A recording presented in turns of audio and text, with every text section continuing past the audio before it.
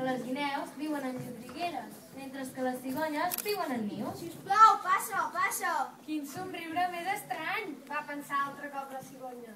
Però aquest somriure estut de la guineu no passava de ser això.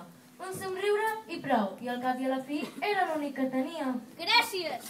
La guineu, mentre parava a taula unes tovalles, va assenyalar una creativa cigonya i li va dir Posa't còmode, que de seguida portaré les sopes. De la cuina començava a arribar una flaire exquisida i a la cigonya se li feia la boca aigua. Més ben dit, al bec, i va notar que els budells li cruixien de gana. La Mineu, amb la safata a la mà, va compareixer amb dos plats ben plens i els va deixar sobre la taula. Un per la seva convidada i l'altre per ella.